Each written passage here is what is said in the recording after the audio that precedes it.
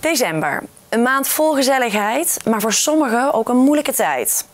Om de donkere dagen net wat warmer te maken, heeft uitzendbureau NAS Werkt kerstkaarten verzameld voor ouderen in verzorgingstehuizen.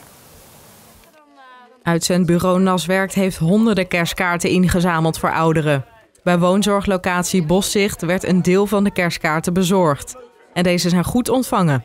Mensen die hier wonen, die, uh, een aantal hebben wel veel familie en, en vrienden, kennissen, een aantal natuurlijk niet. Dus het is altijd wel leuk in deze donkere dagen om uh, extra aandacht te krijgen. Uh, het zijn echt honderden kaarten, dus daar zijn we hartstikke blij mee dat zoveel mensen mee hebben geholpen. het gaat om een stuk of 700 kaarten, dus best, wel, best wel veel. De kaarten zijn grotendeels geschreven door leerlingen van basisscholen. Dus we hebben met alle basisscholen uit de regio hebben we mooie kerstkaarten verzameld. En ze hebben er allemaal een mooie boodschap in geschreven. Dus we doen even een stukje kerstbrood, een bakje koffie en een spelletje om gewoon wat gezelligheid te brengen. Nou, je ziet, je ziet wat tekeningen voorbij komen. Uh, je ziet ook wel aan de kaartjes dat ze elkaar geholpen hebben met handschrift en ja. Uh, ja korte tekstjes, lange tekstjes. Um, maar je ziet echt dat het door kindjes gemaakt is en dat is heel leuk. Ja. ja.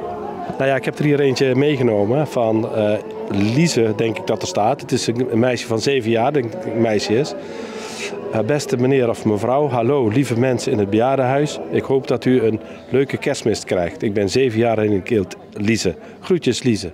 Met allemaal hartjes. Nou, dat is toch fantastisch. Ik vind dat echt heel, heel erg leuk. Ja, zeker. In het woonzorgcomplex worden veel activiteiten georganiseerd voor de ouderen. Maar de donkere maanden zijn vaak wel een moeilijke periode voor de bewoners. Mensen zoeken natuurlijk wel de gezelligheid uh, hier in het uh, ontmoetingscentrum uh, op. Maar zeker met de kerst, uh, donkere dagen, uh, de familie gaat weg en dan zijn de avonden wel erg lang hoor. Een, uh, een warm hart toedragen, gezelschap bieden. Omdat wij denken dat, dat heel veel mensen hier wat eenzaam zijn met deze, met deze kerstdagen. Een beetje een hart onder de riem steken tijdens deze feestdagen. Het is natuurlijk een tijd van warmte en gezelligheid en die willen we vandaag meebrengen bij de ouderen. Dan weten ze dat er aan ze gedacht wordt. En nou ja, goed, dan zullen ze denk ik het kaartje erbij pakken en andere kaartjes. Dan hebben ze wat te lezen en te kijken.